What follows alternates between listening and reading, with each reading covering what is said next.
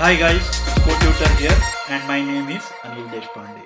In the previous video, you have understood what is the importance of model view, view model architecture. But in this particular video, we will try to understand what exactly is the need for view model and how it would work. So for our discussion purpose, right now we will ignore the model part and mainly concentrate on the view and the view model part in the whole MVVM architecture. I'm sure you are wondering how the view would be able to observe what's happening in the model and also what exactly is view model in Android. Well, you are aware that in Android, view is nothing but an activity and activity has a, a life cycle. It goes through various callback methods. These callback methods are basically interlinked with whether activity got created, whether the activity got rotated, and the activity got finished. And as a developer, if at all you have got some objects, you initialize them in the onCreate method and they basically become eligible for garbage collection when the activity gets destroyed. And between these two callback methods, there are many other methods which continuously get called and based on your requirement, you will be interacting with the objects in those lifecycle methods. There is nothing new here. You would be already familiar with this. But there is some problem associated with this mechanism that we need to understand. To understand that, let's get into a demo.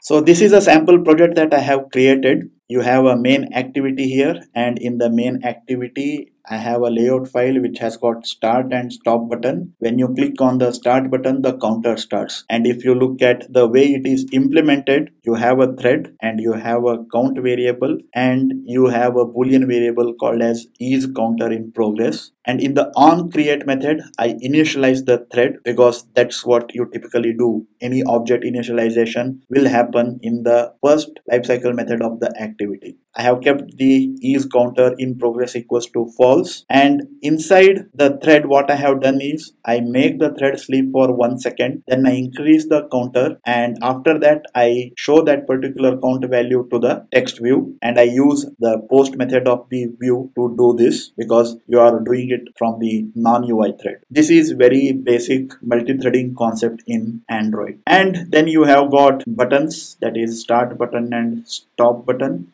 so let's see how this works. I click on the start button and the counter starts and when I click on the stop button the counter stops. No surprises everything seems to be working fine. But there is a problem. Let me run the application again. Click on start the counter has started and now let me rotate the screen and as you can see here instead of counting ahead it basically stopped the counter and once again if I start it once again starts from the beginning. And once again if I rotate the screen once again the counter stopped if we continue to do this many number of times we actually may even crash the application. This is a main problem with what we have implemented. Some of you may think that there could be a quick solution for this. That is if you go to the manifest file and add the attribute config changes for the orientation keyboard and screen size and rerun the application the counter should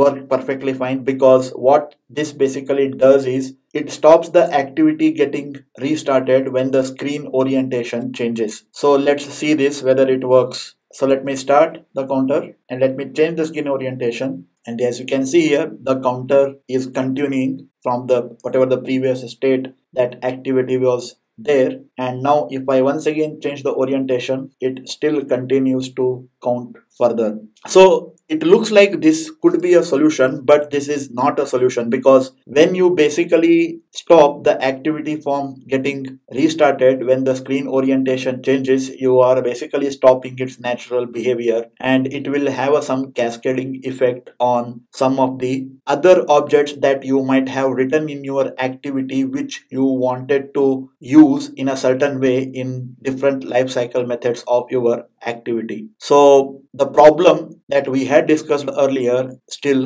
exists And to solve that particular problem, you have a view model. Well, if you have a look at the official definition of the view model, this is what the Android documentation says. The view model class is designed to store and manage the UI related data in a lifecycle conscious way. The view model class allows data to survive configuration changes such as screen rotations. So in the demo, you observed that because the screen got rotated, the objects that had been created in the previous activity instance were no more valid and that is why the application was basically crashing. Well, what view model does is you can create a object that basically is available throughout the scope of the activity and doesn't get affected by the life cycle of the activity. It is still aware of life cycle changes that are happening in the activity. And this view model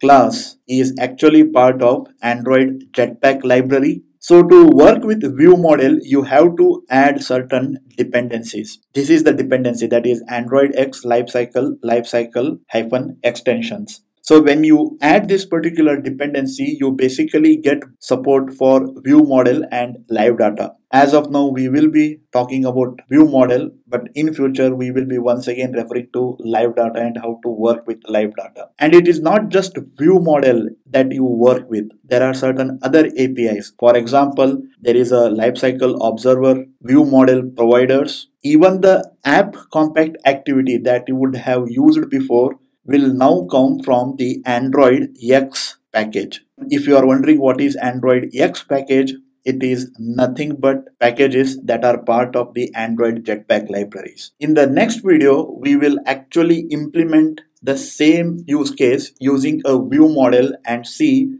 how this problem can be solved. So stay tuned. That brings us to the end of this particular video. Don't forget to like, comment, share the video and subscribe to the channel. Take care. Bye.